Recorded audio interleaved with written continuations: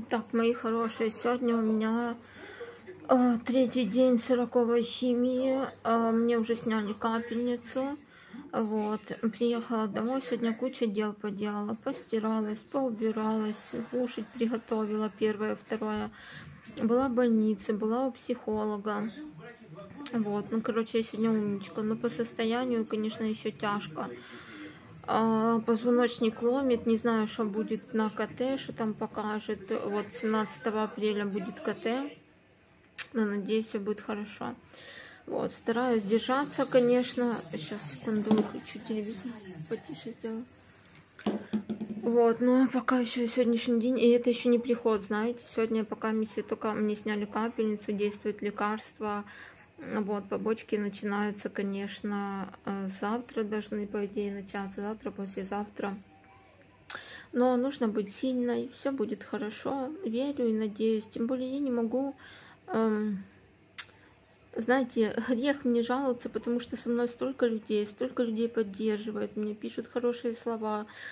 Вот, и я тоже верю, что справлюсь.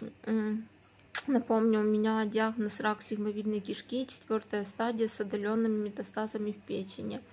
А, опухоль мне удалили экстренно, потому что была непроходимость кишечника. Вот. И я уже прошла 40 химий. А, пробовали два протокола. А, то есть с июня месяца 22 года я на химии. Вот, это сложно. Первое, сначала, знаете, вообще не принимала, что я заболела, что у меня такая болячка.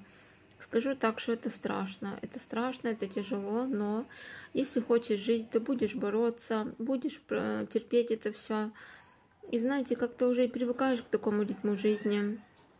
Хотя к такому привыкнуть, конечно, невозможно, но это очень сложный путь. Но Верю в то, что я справлюсь, обязательно справлюсь, и все будет хорошо.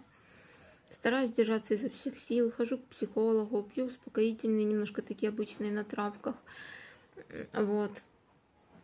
Стараюсь жить обычной жизнью между химиями, работать там. Ну, правда, сейчас не имеют руки, кончики пальцев, потому что неврология, то э, рисую картины, маникюр уже не делаю, ну и пишу свою книгу. Скоро, думаю, уже я с вами ею поделюсь. Это будет книжка, сильная книжка сильной женщины, я так ее называю, знаете. Основное название это Феникс. А вот. И я бы очень хотела, чтобы эта книга дала силы, знаете, бороться. Там будет не только про рак, а там будет вот информация, которая нужна для каждой женщины в этом мире, чтобы стать сильной.